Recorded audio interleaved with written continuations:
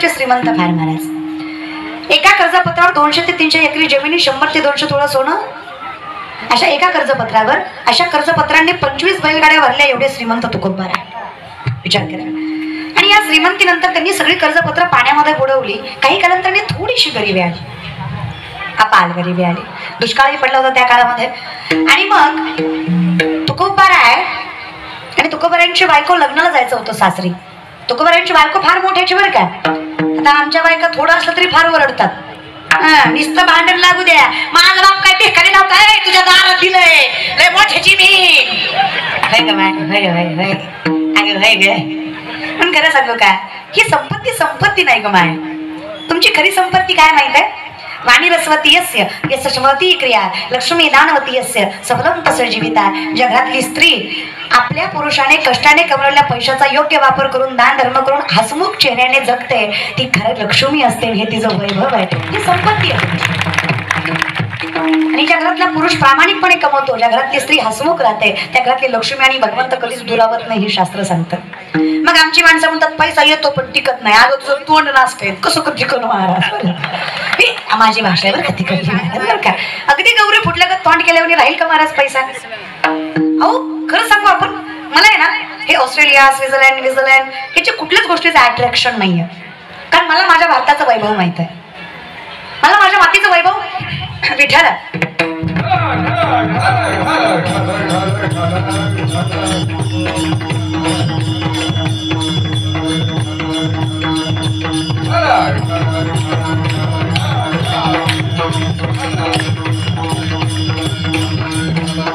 माझ्या भारताचं एवढं वैभव आहे ना दादा माझ्या महाराष्ट्राचं एवढं वैभव आहे ना. अजूनही मायबाप मेल्यावर माझ्या महाराष्ट्रात शाक्त घातलं जात.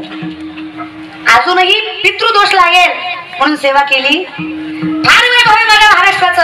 अजून सुद्धा जर दुर्डीत भाकरी नसली आणि ताटात भाकरी असली दारात कुत्र आलं तर माझी माय स्वतः उपाशी राहील पण ताटातली भाकरी कुत्र टाकेल कुत्र सुद्धा उपाशी दारात न जाऊ देत नाही हे वैभव आहे माझ्या महाराष्ट्राचं. माझं वैभव काय सांगू हो तुम्हाला? अजून सुद्धा माझी माय साबण संपलं ना फेकून देत नाही. ती चिपडी दुसऱ्या साबणाला लावते का तर तेवढ्यात का होईल. हे वैभव आहे माझं. अजून सुद्धा माझी माय साडी फाटली तर फेकून देत नाही. वाकडा शिवती लुगडी शिवती पाय पुसणं शिवती. फेकत हा अजून सुद्धा जर बापाचा शर्ट फाटला तर माय पुसणं करती फेकत कप फुटला तर फेकून देत नाही ठेचा भरती फेकत हा वैभव आहे माझ्या महाराष्ट्राचं. अजून सुद्धा माझ्या महाराष्ट्रातली पोरं. अरे अर्धा एक इंच छाती कमी पडली ना साडेतीन चारला उठतं आख्या गावाच्या फेऱ्या मारतं शरीर कमावतं पण स्वतःच्या रक्षणासाठी नाही देशाच्या संरक्षणासाठी हे वैभव आहे माझ्या महाराष्ट्र आणि अजून सुद्धा आमच्या देव धर्माला किंमत आहे रे आणि माणूस की शिल्लक आहे. बरं काय बरंच एका प्रश्न विचारला. अमेरिकेच्या वेळेस भाषण करायला गेले एक साधा प्रश्न म्हणे, हमारे देश में तो एक भी भिकारी नहीं है. हमारा देश बहुत ही, म्हणजे श्रीमंत है बहुत ही धनवान है. आपका देश तो क्या है? जगह जगह पे भिखारी है. यहाँ बैठते हैं, वहाँ बैठते हैं, मंदिर के सामने जाओ तो भिखारी, किसी दरगाह के सामने जाओ तो भिखारी। सब जगह भिखारी भिखारी। आपका देश का भिखारियों का है क्या? इतने भिखारी बैठते हैं।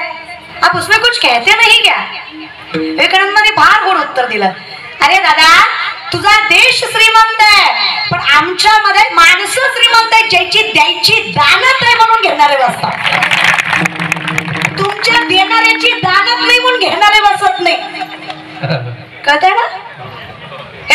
माझ्या महाराष्ट्राचं हे वैभव आहे माझ्या भारताचं. अरे आमच्या देणारे कळतंय ना? हा. आमचा भिकारी सुद्धा लाख लाख रुपये उशाला घेऊन झोपतो. दादा. फक्त आपल्याला अक्कल पाहिजे कुणाला द्यायचं. द्यायचं म्हणजे सगळ्यांनाच द्यायचं नसतं. तर विचार केला पाहिजे की त्याला खरंच नीड आहे का? गरज आहे का? आपल्यात कसं आहे माहितीये का? पंक्ती घालायच्या पण आधी श्रीमंत लोक बसवायची. आणि गरीबाची शेवटच्या पंक्तीला. ते गरीबाला खरी भूक लागलेली असते रे. त्याला पहिल्या पंक्तीला बसव तो परमात्मा आहे. तो देव आहे. जो तुला आशीर्वाद देऊन जाणार आहे ज्याला गरज नाही त्याला खाऊ करू नका रे. पण आपलं कसं साहेब आला की आधी बसवायचा साहेब साहेब गरज नाही रे त्याला. तो इंद्राणीचा भात खातो बासमती हाणतो. त्याला काय गरज आहे? ज्याला रेशनचं भेटत नाही त्याला खाऊ घाला की. ते देव आहे. हे स्वतः गरीबाचा पोरग असला तर कुठे साहेबाला वाचायचंय उठ. उठ तिकडे जाऊन बस. दुसऱ्या पंक्तीला. काय तुला किंमत काय तुझी मग देण्यात? जरी स्वधर्मात होते जे मिळे आपण याते तिथे तुझे बहुते सन्मान योगे. देशकाल पात्र पाहून दान करा आणि कुठलंही उपकार न ठेवता दान करा. अर्जुना अवदानम सात्विकम श्रुतम भगवान श्रीकृष्ण सांगतात आपल्यात कसं आहे? महाराज नावाजलेला असला चहा घ्या दूध घ्या नाही नाही थोडं एक्स्ट्रा घ्या नाही नाही ड्राय फ्रुट्स घ्या. पाकिट घेताय ते. नाही खाल्लं इथं मरण दुसरीकडं. नाही इथं नाही इथं कमी ओळख आहे जरा महाराज चार माणसं ओळखतात रे त्याला. मानतात. पण साधा माणूस दारात चाललाय धोतर फाटलंय शर्ट मळालाय त्याला खरी गरज आहे. नीट समजून घेत सारे त्याला. असं भेदभाव समदृष्टी घेता समान श्री हरी शमदमावरी ज्याने हा भेदभाव केला ना त्याला कधीच परमात्मा सापडला. भेदभाव नकारे करू दादा. सगळे सारखे असतात. माणसं आहेत ती. भेद फक्त देवात आणि माणसात. बाकी कशात? त्याच्यातही नाही कारण इथं देव. माणूस एकच आहे हो माऊली. चला माणूस कळला नाही त्याला देव कळणार. अगदीच नाही ना दादा. पण विनंती साधं समजून घ्या. तुका म्हणे सोपे आहे. फक्त शहाणा तो धनी हे असत्य जगू नका बघा. ही बाधा लावून घेऊ नका. कधीच सुखी राहणार नाही. चला. फार वैभव महाराज आमचं. माझ्या तुकोबरांच्या बायकोचं पुण्याचं सास म्हणजे पुण्याचं माहेर गुळवे सावकाराची पोरगी तुकोबरायची बायको पस्तीसशे एकर ऊस आहे तुकोबरायच्या सासऱ्याचा.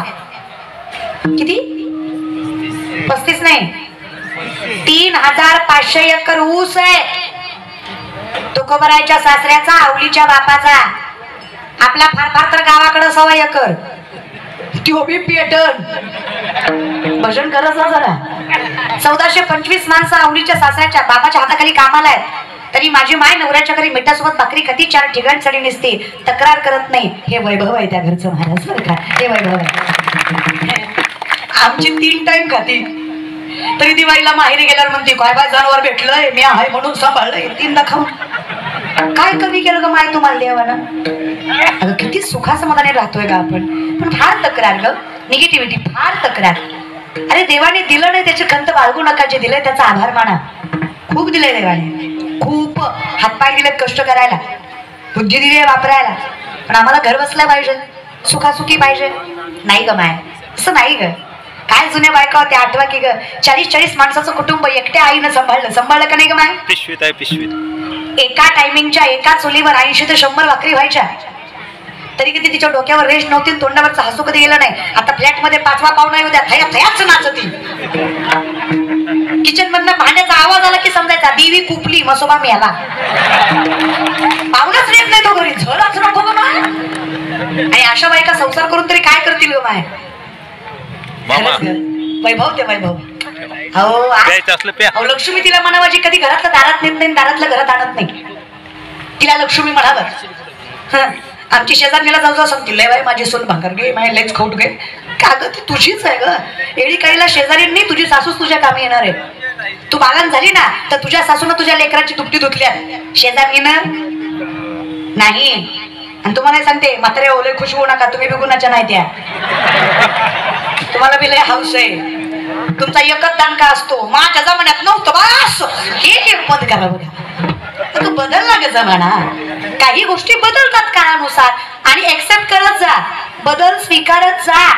स्वीकारावाच लागतो. पहिला पट्टा वरवटा होता म्हणून आता मिक्सर वापरायचा नाही असं नसतं. वापरावाच. दिलाय विज्ञानाने सोयीसुख तर वापरा. बाई माझ्या जमान्यात हे नाही हे दुखायचं हे ज्या बापानं कसं रुखवतावरच गुरकी गुरून गुरकी गुरून कशाला पोटात गोळा येऊ द्यायचा म्हणते मी? तिच्या सुख सुविधा तुम्ही वापरा त्यांनाही वापरू द्या. बरं. बाई माझ्या जमान्यात चार चार लेकर झाले तरी कवा मी कोण कोण केलं नाही? एक आहे तर किती बाई कौशल्यावानी करते? अगं माय तुमच्या काळात खाणं पिणं वातावरण सगळं वेगळं होतं. आताचं ऍटमॉस्फिअर आणि खाणं पिणं एवढं चांगलं नाही की बिना डॉक्टरची डिलिव्हरी होऊ शकते. पण पहिलं ना आता फार फरक आहे. थोडा बदला की. थोडस बदला. तुम्ही थोडं स्वीकारा तुम्ही थोडं नमतं घ्या. तुम्ही हे कशासाठी? कारण आधीच ते दुःखाच आहे. आधीच ते असत्य आहे. तुला सत्य नाही करू शकत. पण कमीत कमी ते असत्य ते स्वीकारू तरी शकतो ना.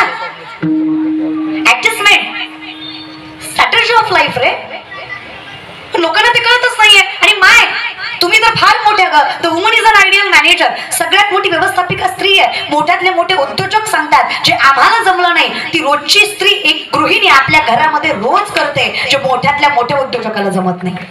व्यवस्थापन. तुमच्यासारखं कुणाला जमणार नाही? आपल्या कुणाला जमणार नाही आपल्यासारखं? पण स्वतःला अंडरस्टिमेट करू नका ग. घाई धरू नका. फार ताकद आहे. पण आपण फॅशनमध्ये घालवली. आम्हाला वाटतं कपड्याचा आकार छोटा केला म्हणजे स्टँडर्ड दिसतं. नाही का?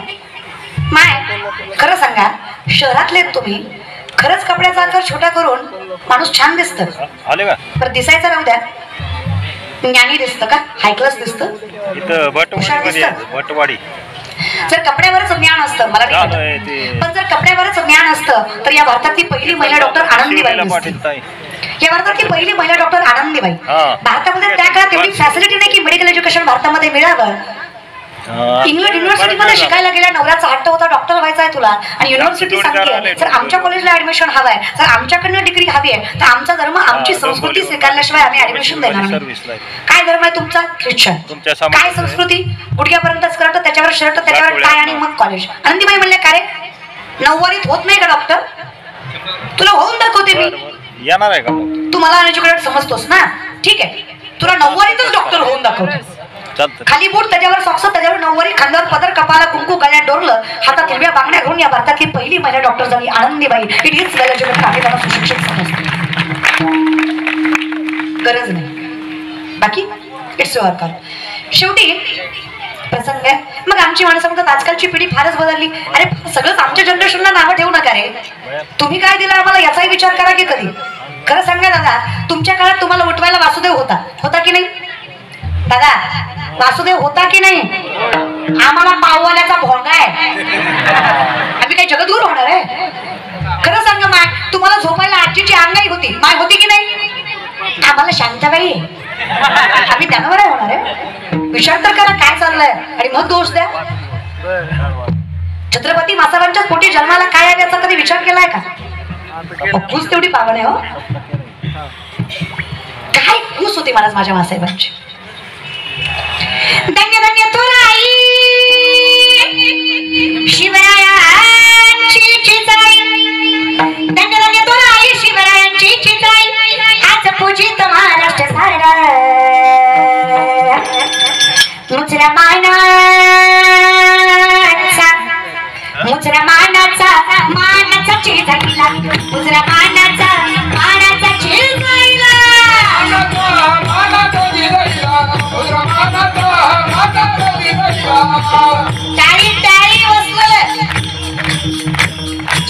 छत्रपती शिवरायांचा स्वाभिमान या मातीचा अभिमान आहे असा प्रत्येक जण टाळ्या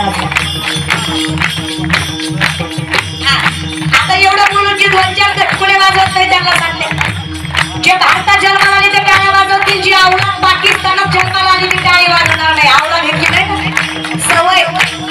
दुसरं काही नाही? वाजवा!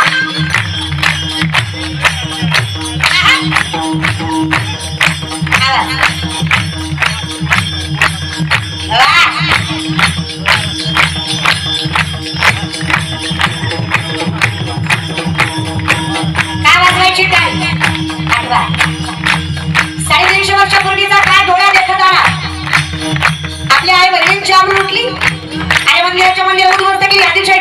मुघलशाही कुतुबशाही दिल्लीचा भगवान मुघल बादशाह अकबर डोक्यावर तयार ठेवा नाचत होता?